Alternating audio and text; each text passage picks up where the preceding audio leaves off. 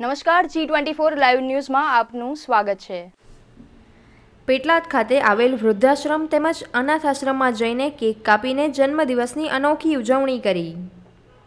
આપણે સૌ કોઈ પોતાના જન્મદિવસે પરિવાર સાથે કેફેમાં જઈને કે મોટી મોટી હોટલમાં જઈને જન્મદિવસની ઉજવણી કરતા હોઈએ છીએ ત્યારે પેટલાદના એક વ્યક્તિ રાજ દિનેશભાઈ સોની જેઓએ કંઈક નવી રીતે તેમના મિત્ર માટે પાર્ટીનું આયોજન કર્યું હતું. જેમાં તેમણે અન્ય મિત્રોને વૃદ્ધાશ્રમમાં બોલાવીને વૃદ્ધોની વચ્ચે કેક કાપી જન્મદિવસની ઉજવણી કરી હતી. તેમજ સાંજના સમયે સુણાવ ખાતે આવેલ એક અનાથાશ્રમમાં જઈને બાળકોને કેફેમાં લઈ જઈ સેલિબ્રેશન કર્યું હતું, જે પ્રસંગે અનાથાશ્રમના બાળકોને ભરપેટ ભોજન જમાડીને આનંદ માણ્યો હતો.